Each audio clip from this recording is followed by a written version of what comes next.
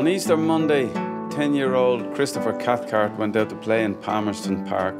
When word of fighting reached his mother, she called for him to come home, but he went for a walk and was shot on Portobello Bridge. Christina Caffrey, aged just two, was shot while being held in her mother's arms.